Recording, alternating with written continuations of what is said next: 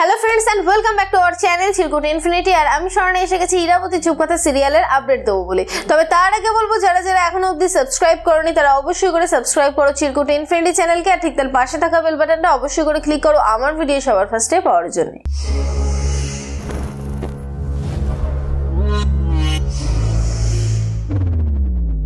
ইরাবতী চুপকথা সিরিয়ালে ইরাবতী জানতে পেরে গেছে যে আরুষি মারা যায়নি, কারণ ডিএনএ টেস্টের রিপোর্টটা সে হাতে পেয়ে গেছে।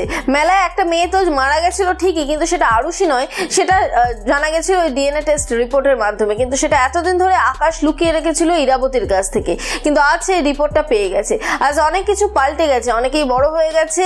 এই মুহূর্তে নীলকে দেখানো হচ্ছে না, তিস্তাকে দেখানো হচ্ছে না, কিন্তু আকাশের জীবনে অন্য কোনো মহিলা এন্ট্রিও নিয়ে নিয়েছে। তবে সেই সমস্ত কিছু তো আমরা জানতে পারবোই, তবে যেমনটা আমি তোমাদেরকে বলেছিলাম যে ইরাবতী আসবে, ইরাবতীর মেয়ে ক্যারেক্টারে।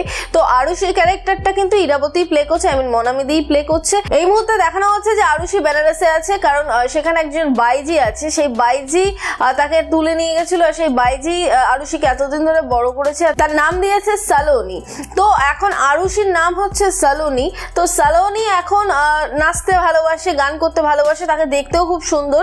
কিন্তু সমস্যা হচ্ছে এই যে বাইজি মা, এই বাইজি মা চায় না যে তার মেয়েকে ধান্দায় নামাতে। তো এই মুহূর্তে সে চেষ্টা করছে যে তার মেয়েকে লুকিয়ে রাখতে, কিন্তু তবুও হলো না। একজন এসেছে আর সে বলেছে যে কলকাতাতে একটা খুব বড় একটা বিয়ের অনুষ্ঠান আছে, সেখানে নাচা গানা হবে আর সেখানে যেতে হবে আরুষিকে। কারণ আরুষির গানটা আর নাচটা খুবই ভালো, আর আরুষির নাম তো ওখানে স্যালোনি তো আমি এখন থেকে স্যালোনি বলেই বলব। আর যদি একটু সমস্যা হয়, তাহলে একটু বুঝে নিও হ্যাঁ? তো যাই হোক, এই স্যালোনি যাচ্ছে কলকাতায়। ওদিকে ইরাদের বাড়িতে একজন ভদ্রলোক এসেছে, যিনি হচ্ছে আকাশের বিজনেসের ক্লায়েন্ট তো সে এসে দাঁড়িয়েছে যে তার মেয়ের বিয়ে বাইরের থেকে নাচা গানার অনেক নৃত্যশিল্পীদেরকে আনা হচ্ছে, অনেক ব্যবস্থা করা হচ্ছে, ইরাবতী যেন সেখানে যায় এবং সেখানে গিয়ে একটা গান গায়।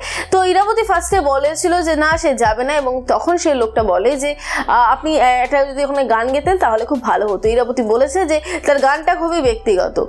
সবাইকে শোনানোর জন্যও নয়, বিক্রি করার জন্যও নয়। আর যদি তার গান শুনতে একান্ত ইচ্ছা করে তাহলে সে ব্যবস্থা না হয় একদিন করা যাবে। ইরাবতীকে বলেছে, যদি আজকে আপনার মেয়ের বিয়ে হতো তাহলে কি আপনি গান গেতেন? না। তো ইরাবতী তো যাচ্ছে সেই বিয়ে বাড়িতে।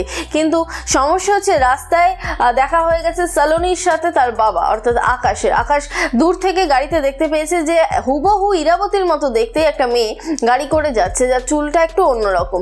তো আকাশের একটু সন্দেহ হলেও আকাশ কিন্তু এই মুহূর্তে বুঝতে পারছে না। বাবা মায়ের প্রথম মুলাকাত তো হয়ে গেল। কিন্তু এরপরে বিয়ে বাড়িতে নাচের মুহূর্তে হয়তো দেখতে পাবে ইরাবতী, আকাশ দুজনেই তাদের মেয়েকে। কিন্তু তাদের মেয়েকে দেখে এত সহজেই কি তাদের মেয়েকে নিয়ে আসতে পারবে আর সালোনের জীবনে নতুন কি চমক ঘটতে চলেছে কলকাতায় এসে সে কি পাবে ফিরে তার বাবা মাকে? এই সবটা জানতে হবে আর তারই পাশাপাশি দেখতে হবে কারণ আম্মা আই মিন এই যে বাইজি আম্মা এই বাইজি আম্মার সাথে তো অনেকে আছে তো অনেকেই চায় যে সালোনি ধান্দায় নেমে যাক। আহ, সারা জীবন ঘরের মধ্যে বসে থাকবে না। তো তাদের হাত থেকে সালোনি নিজেকে কি করে রক্ষা করবে? আম্মাই বা সালোনিকে কি করে রক্ষা করবে?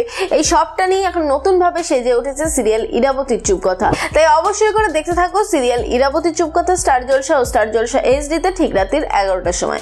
আমার ভিডিও ভালো লাগলে লাইক করো কমেন্ট করো শেয়ার করো, আর যেটা করবে, ইরাবতী চুপকথা সিরিয়ালের সমস্ত আপডেট সবার ফার্স্টে পেতে অবশ্যই করে সাবস্ক্রাইব করো, চিরকুট ইনফিনিটি চ্যানেলকে আর ঠিক তার পাশে থাকা বেল বাটনটা অবশ্যই করে ক্লিক করো, আমার ভিডিও সবার ফার্স্টে পাওয়ার জন্য।